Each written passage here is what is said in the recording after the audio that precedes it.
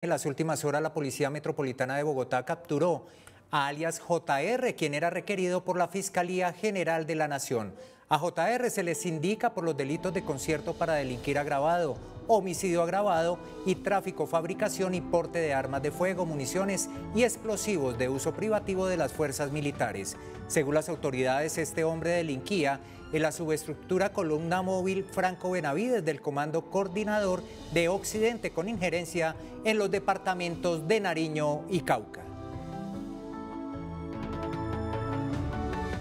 Este delincuente, de acuerdo a lo que tenemos en investigación criminal, se encontraba en la ciudad de Bogotá en un tiempo de descanso, ya que realiza diferentes actividades criminales en la subestructura Franco Benavides, que delinque principalmente como Gaor en el sur del país.